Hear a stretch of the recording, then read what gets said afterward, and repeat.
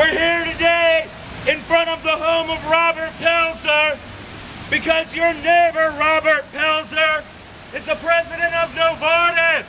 Novartis contracts with the puppy killers and Huntingdon Life Sciences.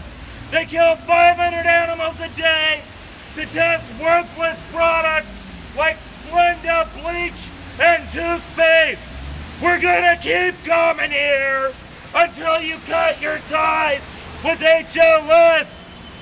500 animals died today. Robert Pelzer is to blame! 500 animals murdered in vain. Robert Pelzer is to blame! 500 animals killed today. Robert Pelzer is to blame! 500 animals poisoned today. Robert Pelzer is to blame! One struggle, one fight. Human freedom, animal rights!